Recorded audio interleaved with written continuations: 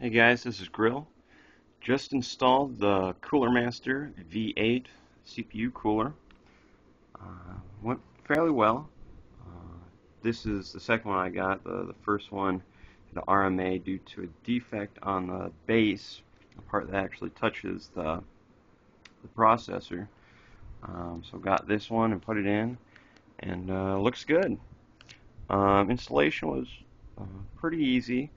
Um, it has, um, different from what I had before, it has its own uh, separate base that you have to screw in. Had to take off the old one, put the new one in, and then I have um, this piece. It's a uh, good focus here. It's used to screw on the nuts uh, to hold the process, the cooler in place. Um, so that was a little different from what I had before. Um, Cooler Master gives you all the tools you need. Uh, this processor, processor cooler, is uh, compatible with uh, Intel and AMD, so they give you all the parts, what you need. Installed AMD one. Uh, this was the old base, took that off. And this was so, was the old back plate. They give you all new stuff, stuff to put in. Um, so it went well. Um, so it has uh, looks like four heat sinks that all come down to uh, the base, and it has a fan in the middle, 120 millimeter fan. Um, so cool air will be sucked in through this side and then blown out the other end. Um, so we should get a big uh, increase of cooling uh, with the stock one this is the stock AMD Phenom 2 uh, processor cooler. And at idle, my temps were around like 40 Celsius. So, needed something better. Um, so I bought this. Looks good. Um, definitely a lot bigger. Uh, they also include, Cooler Master includes um, its own thermal paste, which I have decided not to use. I use uh, this right here, the OCZ Freeze. Um, it's some pretty good stuff used on the, the previous uh, cooler. Uh, so hopefully it will work well. Don't don't need to uh, smear it out across the processor. Just put a dot in the center, and with the force of the cooler, that will push down and it will spread out all of the thermal paste into a uh, small and uh, clean surface. So there's the build. I'm running on an Asus board. Uh, fits well and it is in there tight. Pick it up with that.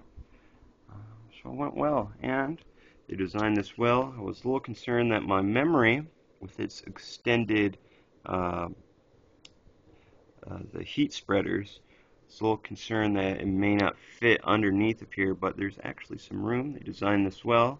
I kept that in mind. Um, uh, the only downside, if you're using this cooler, you, I don't think you you would actually be able to use one of those fans like um, some of the coolers or some of the the RAM you can get, like uh, Corsair or whatever. Um, so, yeah, there you go. Went well. Now I just have to put it back. Uh, this was the only downside with my current case. It has no um, removable motherboard tray. So, or it, it doesn't have one that has a hole in it. So I had to take out the whole board. Had to take out pretty much everything. Um, so, plan on switching over to the Cooler Master HAF X once that comes out for increased airflow. Right now I have uh, this case supports two 80 millimeter, 80 millimeter fans in the front, two in the back, and one on the side panel. Um, it's very roomy in here, uh, a lot of space. I have four hard drives, and these drive bays are actually removable, and there they are. Um, this case only supports four hard drives. Um, I guess if you wanted to, you could try and squeeze one into here, but with the screws, I don't think there's enough room for that. Um, this is the Ultra case, the Dragon X or Dragon Glossy, whatever. They don't make these anymore. Very old case, five years old.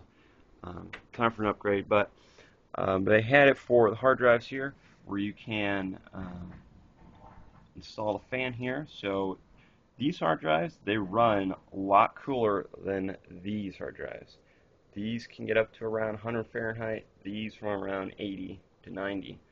So um, I wish they would have put put a fan on this one too. Uh, it really helped out. These are just backup hard drives. They turn off after 20 minutes when they're not in use. Um, so don't really have to worry about too much heat problems with that. Um, this is graphics card.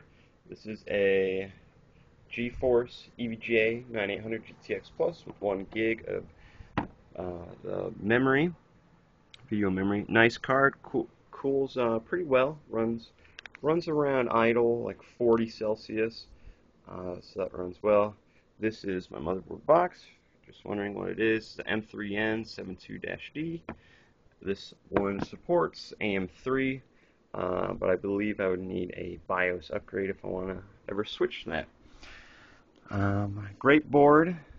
Uh, it has uh, six SATA ports, uh, four on the side here, and then two uh, facing up.